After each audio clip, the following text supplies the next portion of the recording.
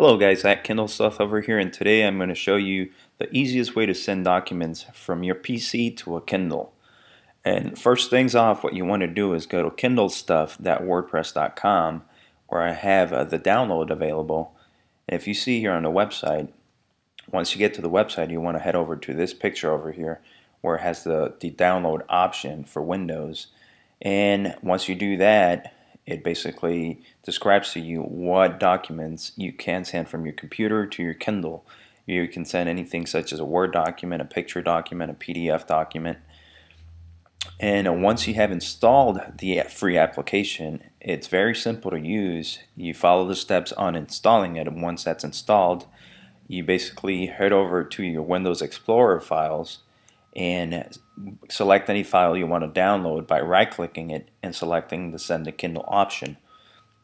Also, from any print menu, you can do the same thing.